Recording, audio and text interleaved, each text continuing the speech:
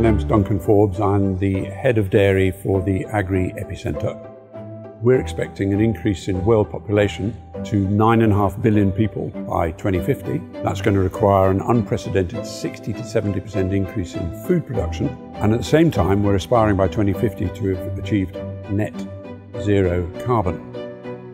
But the future of farming, therefore, is going to be about using more technology, sensor technology and so on, to inform us better. It's not going to replace us as the people operating the farm. It's enhancing the skills of the people running the farm.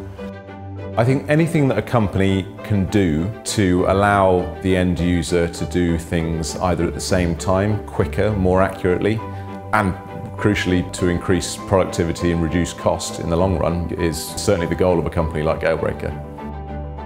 The iSeries is a solution designed really to enhance your building's productivity.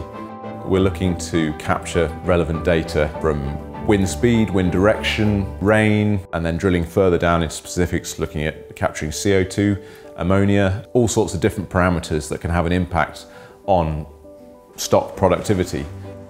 Farm Building Control is where we can bring all the devices on farm into one control system so that through intelligent algorithms, the right ventilation control, the right control of our door products, fans, curtains are all integrated into one control system so they work to enhance and bring the optimum conditions to the farm.